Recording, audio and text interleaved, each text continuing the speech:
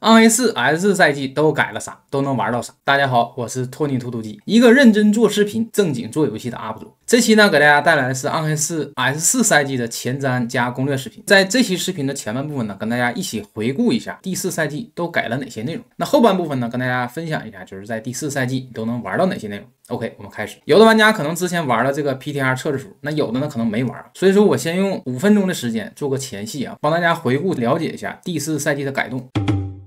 什么？大哥说五分钟前戏太长，嗯，那咱们用两分钟啊。主要有九点变动。第一个呢，就是装备词缀这个数量变少了。传奇装备现在的词缀呢改为了三条，那稀有装备呢改成了两条。第二个呢，就是装备这个掉落变少了，但是纯度上升了。世界三难度掉神圣装备，然后世界四难度呢掉现种装备。九十五级以上的这个敌人呢就会掉落九二五的装备。第三个呢，就是传奇威能合并进这个能量法典了。比如说一个变量是一到十的威能，那你打到一个九的，那你拿去分解了这个法典里的这个威能，收藏就是九。没有这个次数限制。第四呢，就是繁体叫淬炼，简体呢叫回火，以下都统一称之为是回火。可以给装备添加两条词缀，一共呢有六个类型，有增加伤害的，有增加防御的，还有增加技能范围的等等。这个呢也是这个 S 四赛季的核心玩法之一。第五个呢是精铸，也叫这个装备升级。装备呢一共可以升级十二次，材料呢在工匠之坑获取，每次升级呢都能提升装备的这个词缀。那每升四级呢还能额外让一条词缀的属性大幅提升。那第六个呢就是这个地狱槽这个怪物数量增加了。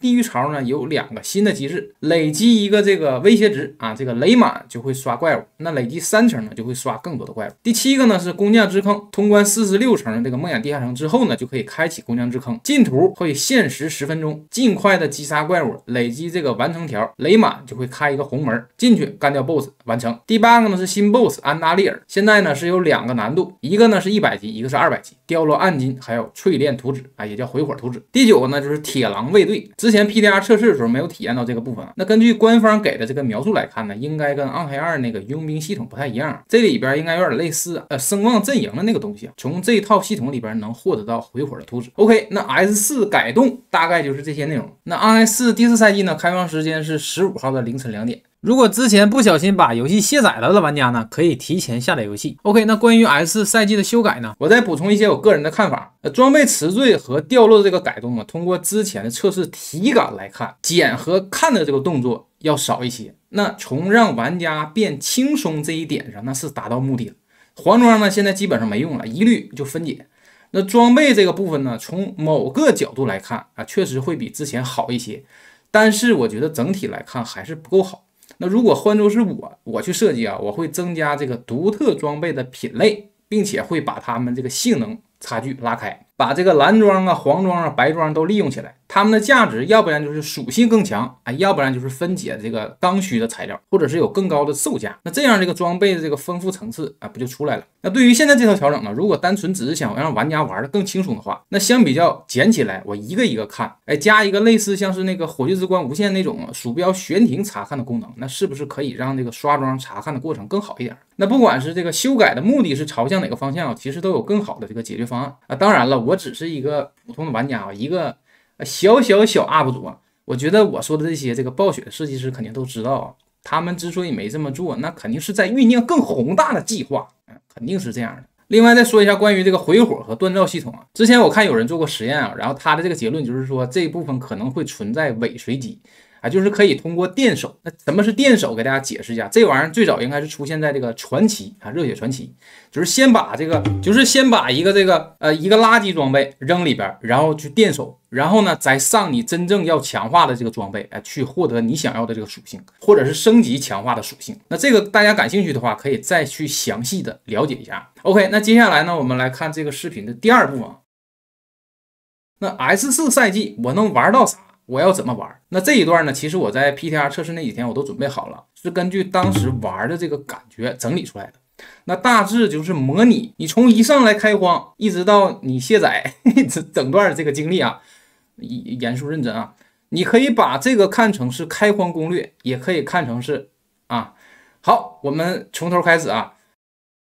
一上来呢，进入这个选人界面，那第一步呢，就是这个选哪个职业。那 PTR 短短的几天里呢，出了很多夸张的 build，他们的共同特点呢都是爽。那这一切呢，都源自于回火系统，给装备打质变的词缀。那所有这个职业的技能都有变态的可能。那所以这个赛季的这个职业 build 的开发呢，会有很大的空间。那说实话，我无法告诉大家 S 四赛季职业哪家强，我只知道某个职业在互联网上啊过于强的时候，那聪明的暴雪设计师都会对他们进行特殊的照顾。如果你真的不知道选择哪个职业好的话，那就选择德鲁伊。有的人心里肯定会想，哎，这个兔兔鸡一提职业他就说德鲁伊。你看着我真挚的眼神，答应我这次一定要选择德鲁伊。OK，那职业选定之后呢，老玩家就可以直接跳过剧情了，开始游戏最棒的部分，那就是升级，前往地狱潮。那这个阶段呢，要做的就是杀怪、升级、杀怪、升级、杀怪，然后。挺过了这一段呢，你会来到第三部分啊，干掉馆长，前往这个世界三难度。那建议在五十级之前完成就可以了。那到了世界三干啥呢？还是德鲁伊大战地狱潮啊？但是这回除了升级以外呢，还要搞初期的威能。那目标呢，就是让你这个威能成型，还要搞召唤 BOSS 的材料，就是为了后面打 BOSS 用啊。同时。哎呦，你们吓我一跳！也要打梦魇地下城，目标呢是升级雕纹以及回火的配方。那来到这个第四步，世界四，一直干到七十五级左右呢，去干掉厄莱亚斯，进入这个世界四难度。那有的玩家可能就是五六十级就能打，这个无所谓啊，看你自己啊。那在世界四难度呢，还是德鲁伊大战地狱潮，惊不惊喜？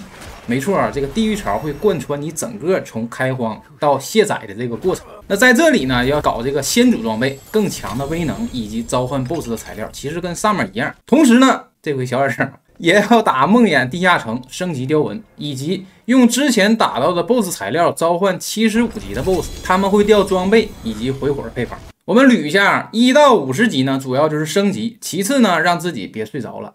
那五十到七十五级呢，主要就是升级。搞威能升级雕纹，搞回火配方，以及攒这个召唤 BOSS 的材料。那七十五级以后呢，就跟上面其实也是一样啊。这个过程当中呢，优化自己的这个 build，还有装备词缀。第五步卸载游戏还还没到，你别急啊。第五步终局游戏到这个阶段呢，其实升一百级它已经不是你这个主要目标了。啊，因为你在刷装备、搞威能、搞这个材料过程当中，这个等级顺便它就上去。那装备的话，记得要刷九十五级以上的怪物，他们呢会掉落九二五装等的这个装备。那在这个阶段呢，相比较优化你这个装备上的词缀，其实回火和这个装备锻造的提升更大。所以说，第一优先级呢就是搞这个回火的配方。如果说前面积累的不够呢，就再去刷这个梦魇。或者是 BOSS，那其次呢是刷这个工匠之坑搞那个材料，然后锻造强化装备，然后再次呢就是继续刷这个梦魇，提升你这个雕纹，然后呢挑战一百级安达利尔，然后再接下来呢再去优化你这个装备上的这个词缀，哎，然后再回火，再锻造，然后呢再去挑战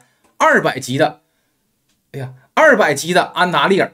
直到你卸载游戏，OK，那以上呢这些就是我总结的这个 S 四赛季能玩的内容以及玩法。那根据每个人的这个体质不一样，睡着的这个时间点呢和卸载游戏这个时间点可能都不一样啊。刚才说的太正经了，接下来我稍微放松一点跟大家说。我觉得这个 S 四赛季呢，整个这个体验反馈的曲线呢，会从刚进世界三难度就开始上升，然后直到世界四的时候呢，优化回火和锻造之后那一阶段，你会达到一个高潮。呃，因为这个回火系统呢，会让你这个技能产生极大的质变，你打起来会非常的爽。那如果说你选择的是你心爱的职业，那这种爽感只会加倍。这个就像是你去外面找一个陌生人一起玩游戏，跟你心爱的人一起玩，这个感觉肯定是截然不同的。OK，那以上就是对这个暗黑四第四赛季的一个严肃认真的介绍了。希望这期视频呢能帮助大家对这个 S 四赛季有一个大致的了解，以及在第四赛季玩的时候有一个比较好的体验计划。我是严肃正经的托尼兔兔鸡，那我们下期视频再见，各位拜拜。